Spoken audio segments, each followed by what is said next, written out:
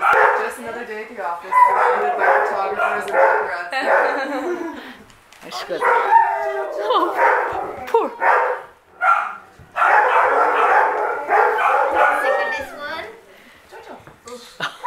I love it.